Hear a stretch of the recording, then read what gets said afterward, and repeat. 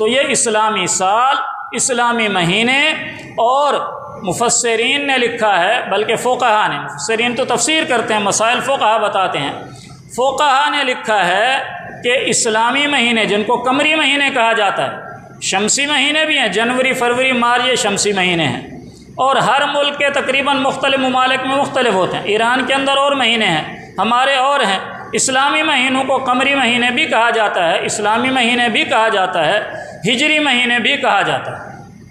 तो फ़ोकहा का ये कौल है मशहूर कि इस्लामी हिजरी महीनों को याद रखना ये फ़र्ज़ किफ़ाया है।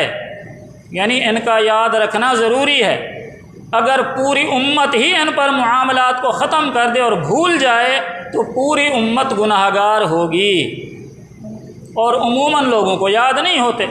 जनवरी फरवरी याद होते हैं, इस्लामी महीने याद नहीं होते। महीने बाज़ दफ़ा याद होते हैं, साल का पता नहीं होता कि यार कौन सा साल चल रहा है इस्लामी। भाई चौदह सौ तैंतालीस है, चवालीस है, बयालीस है, पैंतालीस है, कौन सा चल रहा है? तो इस्लामी महीनों का याद रखना भी ज़रूरी है और इस्लामी साल का याद रखना भी ज़रूरी है। अच्छा भैया ये इस्लामी महीने चालू हो गए। आप सल्लल्लाहु अलैहि वसल्लम के ज़माने में ही तरतीब सेट हो गई इनकी। और हज़रत सिद्दीक अकबर के ज़माने में भी। अब ये महीने तो तय हो गए, लेकिन साल का निज़ाम नहीं बना था।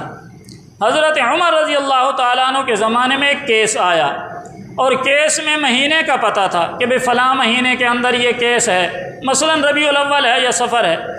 साल का पता नहीं था कि ये साल कौन सा था। पिछले साल का है, उससे पिछले साल का है। उससे पिछले साल का है। साल का तयन नहीं था। हज़रत उमर रज़ी अल्लाह तु के दौर खिलाफत से पहले। महीने तो मुतन थे, साल मुतन नहीं थे, सन मुतन नहीं था। तो हज़रत उमर रज़ी अल्लाह तु ने शूरा बुलाई। साहब कराम को बुलाया, भाई आए, मशवरा करते हैं। तो सबने मशवरा दिया। किसी ने मशवरा दिया कि जी जो सन ईसवी है, जो 2022 अब चल रहा है ईसा सलाम की विलादत या वफ़ात से है। तो इसी तरह अम्बिया की विलादत और वफ़ात से, चूँकि कई सन हैं, साल हैं तो हम भी ऐसा ना करें कि आ हज़रत सल्लल्लाहु अलैहि वसल्लम की विलादत से इस्लामी साल शुरू कर दें, या आप अलैहि वसल्लम के विसाल से शुरू कर दें। किसी ने कहा, फ़तेह मक्का से शुरू कर दें। किसी ने कोई राय दी, किसी ने कोई राय दी, अलगर्द मुख्तलिफ़ राय सामने आई। हज़रत अली रज़ी अल्लाह तु ने अपनी राय दी। हज़रत उमर रज़ी अल्लाह तु ने पूछा कि भाई अली, आपकी क्या राय है? इस्लामी साल कब से शुरू करना चाहिए?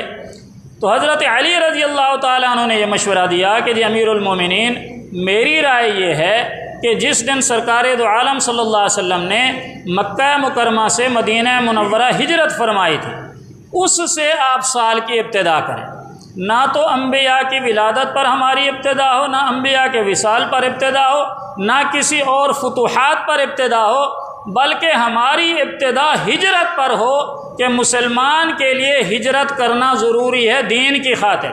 यानी दीन के लिए चलना, फिरना, दीन की दावत के लिए घर से निकलना, दीन के लिए दुनिया के अंदर जाना, इसको हिजरत कहते हैं। तो हमारे साल की बुनियाद इब्तदा हिजरत से होनी चाहिए।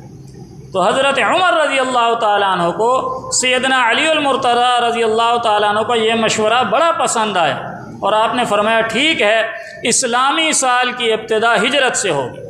तो उस वक्त से फिर ये इस्लामी साल हिजरी बन गया, सन एक हिजरी, दो हिजरी, चार हिजरी, जो कि अब चौदह सौ चवालीस हिजरी चल रहा है। तो इस्लामी साल के महीने मुहर्रम से लेकर जुल्हज्जा तक हैं और इस्लामी साल चौदह सौ चवालीस हिजरी है। तो आदमी को जिस तरह अंग्रेज़ी तारीख़ें याद हैं, इसी तरह इस्लामी तारीख़ें भी याद रखना ज़रूरी हैं। इसलिए कि इस्लामी अहकाम का ताल्लुक़ चाँद से है और इन अंग्रेज़ी महीनों से नहीं है।